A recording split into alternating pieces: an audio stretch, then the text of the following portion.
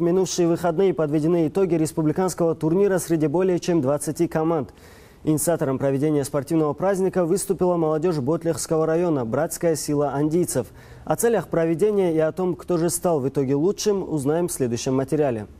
На окраине Махачкалы собрались более 20 команд с разных районов и городов республики. Это ежегодный футбольный турнир, который проводит молодежь Ботлийского района. На открытии выступали инициаторы соревнований и те, кому не безразлична судьба подрастающего поколения. Мы э, периодически проводим различные мероприятия не только по спортивной части, но и духовно-нравственным воспитанием занимаемся мы. Совсем недавно мы проводили в селе Гагатле республиканский маджлис, где принимали участие наши алимы.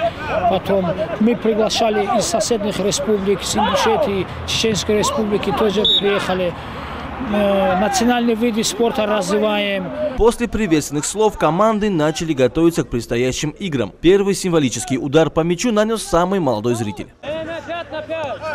Основная цель турнира – сплочение молодежи разных национальностей, укрепление дружеских отношений между народами Дагестана. О важности проведения таких турниров рассказал один из организаторов, представитель общественной организации «Братская сила андийцев». Такие спортивные мероприятия проводим для популяризации здорового образа жизни среди нашего подрастающего поколения, потому что спорт объединяет, спорт – это здоровье, воля и мужество.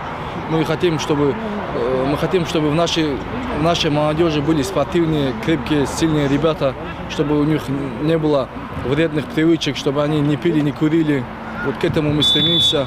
Поддержать любимые команды на турнир прибыли и взрослые, и дети. Воспитывая молодежь, нельзя забывать о предках, на которых должно равняться подрастающее поколение, подчеркивают аксакалы.